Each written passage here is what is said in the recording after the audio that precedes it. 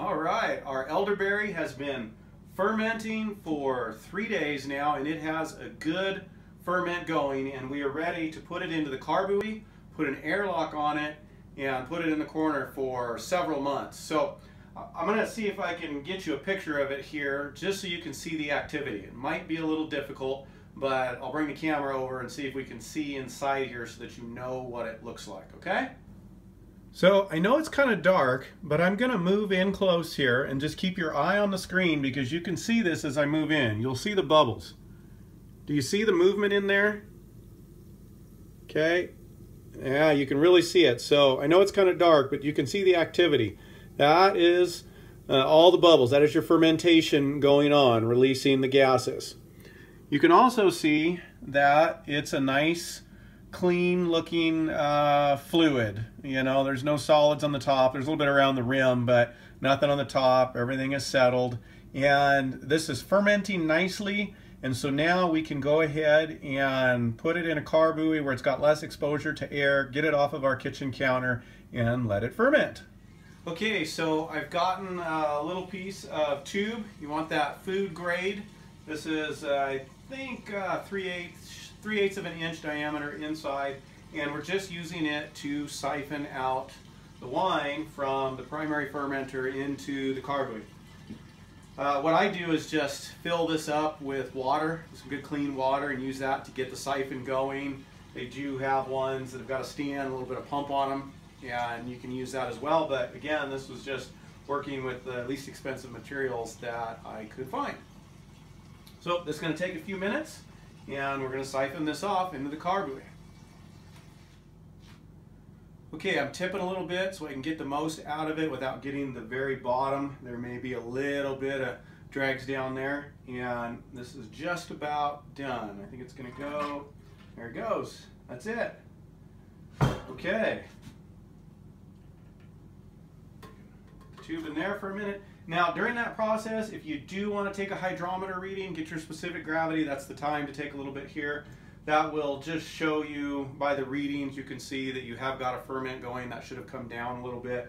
But you can also visually see that it is fermenting and ready to go. By putting in the carboy, we're going to seal it off better. We are going to put our airlock in here. Let me get a little bit of water in this, and I'll be right back.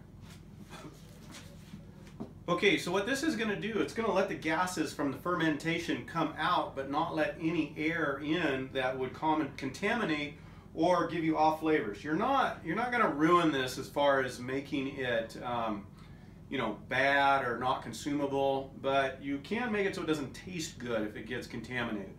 Uh, the fermentation, the alcohol will take care of any bacteria if it's got a good ferment. But if you get any contaminants in there, it'll also ferment that and give you some off flavors, and we don't want that. So we're going to put that in and seal it. And it will just take a minute or two to fill up in here and this will start bubbling. So I'll bring the camera over here in just a second so that you can see how that's going.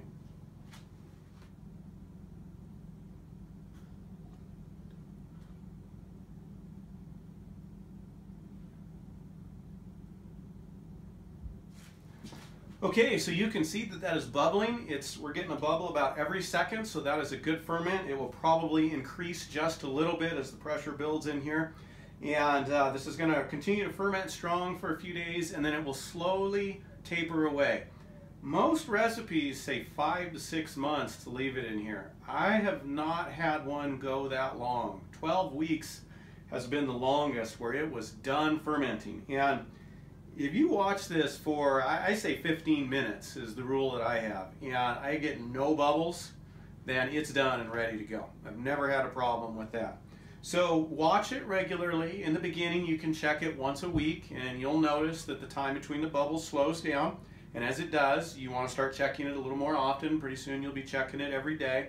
And eventually, you'll just see that the fermentation has stopped and it's ready to bottle. Now I'm not going to do a video on that part, but you can use some old wine bottles. Um, you can use old beer bottles, Grolsch bottles, whatever you want, but you do want to seal it up. And um, you know, you can again just use that siphon or you can buy a little pump to get out of there. Um, you know, the other thing you can do if you want to use a plastic fermenter, I don't like those, they can harbor bacteria, but they have them where an airlock goes in the top and they've got a spigot on the bottom so you can set it up and it is convenient. It's, it, it's really, really nice. Uh, but I just don't want to ferment in the plastic. So we're going to use this and then we'll just siphon it into bottles and cap those. And I think that's about what you need to know. Now, this does get better over time. And um, most recipes, again, say five to six months before you drink it.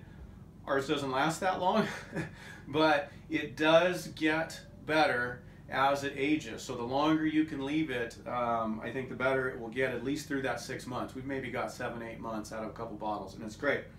Um, just a couple notes on elderberry. It's it's you know it's not a grape wine. It's got a sweet yet um, can have a little peppery or slightly uh, spicy is not quite the word, but it's the best word I have for it. So if you get that, don't think you did something wrong. Um, you'll know if it just doesn't taste right if you ended with, up with something dirty somewhere. Uh, now, if it gets moldy, you're not fermenting, okay, and something went wrong. But if you get through this process and you can see it fermented and you get here and it's got an off flavor, um, it's not going to hurt you. You just, something was dirty. It got contaminated. You know, something wasn't as clean as it needed to be, and so it gave you some off flavors. You'll have to decide whether it's tolerable, tolerable or not. I've had to throw some away. Some we just deal with it because we worked hard to do all this process, and um, so we go ahead and use them. Man, I think that's it. I hope this has helped you guys and given you confidence that you can wild ferment. Just don't wash your fruit. You can, you know, sift it, clean it. If it's bigger fruit, maybe wipe it off.